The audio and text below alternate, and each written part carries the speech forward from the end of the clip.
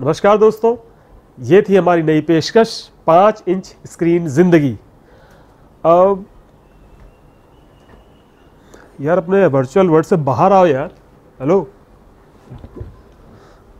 इंतज़ार की घड़ियाँ समाप्त हुई दोस्तों और अगले ही हफ़्ते हम लोग विक्रम बेताल का पार्ट टू लेकर आ रहे हैं।